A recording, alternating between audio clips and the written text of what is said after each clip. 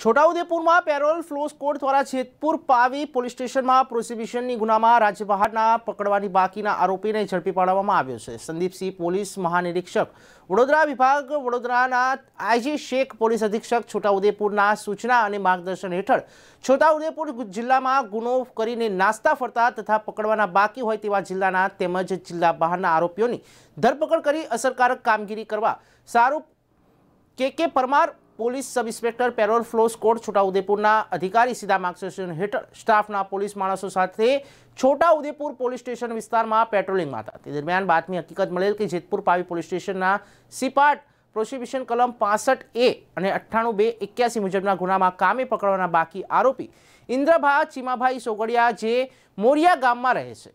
અલીરાજપુરના Chhota Udepur petrol પર ચોકડી પાસે ઉભેલ છે, જે હકીકતના આધારે પકડીને કાયદેસરની પોલીસે કાર્યવાહી હાથ ધરી છે.